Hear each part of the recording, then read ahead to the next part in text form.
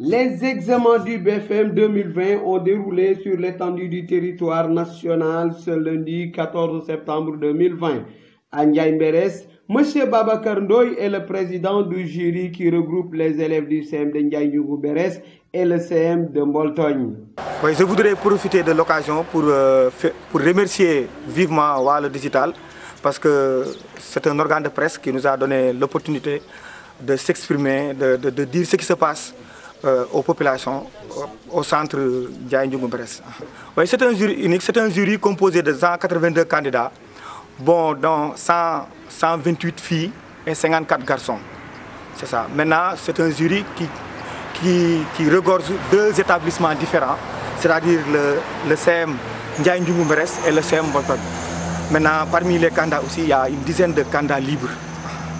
Par rapport aux absences Par rapport aux absences, nous avons enregistré 4 absents, dont 3 filles. Concernant les fraudes, il n'y a, pas de, a pas de cas de fraude, ni de tentative de fraude. Vraiment, les élèves ont respecté les consignes allant dans le sens d'éviter les fraudes, etc. Les téléphones portables euh, ont été laissés à la maison, etc. Concernant le personnel, bon, le personnel surveillant, tout le personnel est là.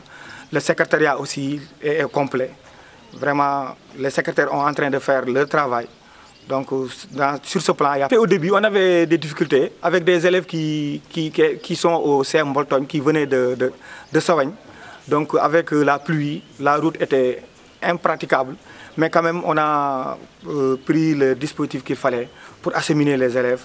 Donc euh, actuellement, tout se passe bien. Concernant l'aspect sanitaire, les mesures idoines ont été prises pour un bon déroulement des examens du cycle moyen en cette période de pandémie de la Covid-19, précise M. Ndoye. Ce qu'on peut retenir en, milieu de journée, euh, tout se passe bien.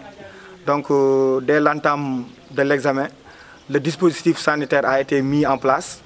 Donc, euh, lavage des mains, les élèves ont porté des masques. Certainement, au début, on a noté des élèves qui n'avaient pas de masque. Mais le surveillant général du collège, en l'occurrence M. Djankha, a pris euh, les décisions qu'il fallait, c'est-à-dire il a remis des masques à ces candidats qui n'avaient pas de masque. C'est-à-dire euh, les, directives qu'avaient données nos collègues depuis la reprise, les élèves l'ont respecté. Raison pour laquelle, dès le matin, lorsqu'ils sont venus, la première chose à, faire, c'était de laver les mains, de porter des masques.